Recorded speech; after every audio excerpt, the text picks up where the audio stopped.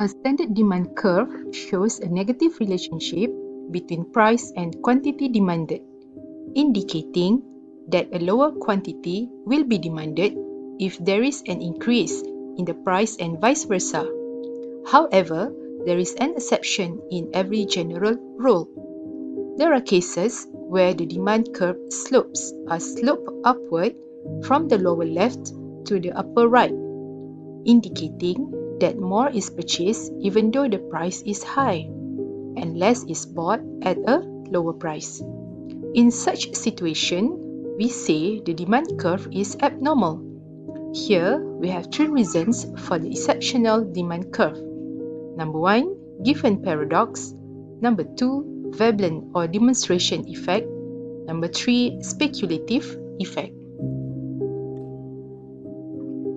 In case of certain inferior goods called Giffen goods, when the price falls, quite often less quantity will be purchased than before because of the negative income effect and people's increasing preference for a superior commodity with the rise in their real income. Few appropriate examples may be listed such as cheap potatoes, broken rice, cheap bread, vegetable ghee, and etc.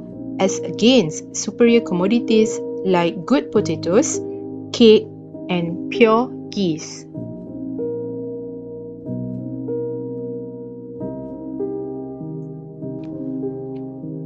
The Giffen good or inferior good is an exception to the law of demand.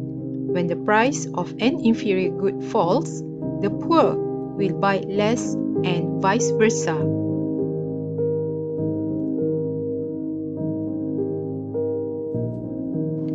Veblen effect is one more example of an exceptional demand curve.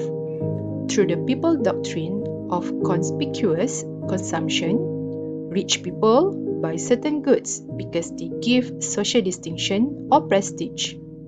Examples of goods are diamonds and luxury cars. The more expensive these commodities become, the higher their value as a status symbol and hence the greater the demand for them. If the commodity's price increases, then the consumer will buy more of it of the expectation that it will increase further. For example, speculators in the stock exchange will buy more shares if the price of the shares shows a rising trend.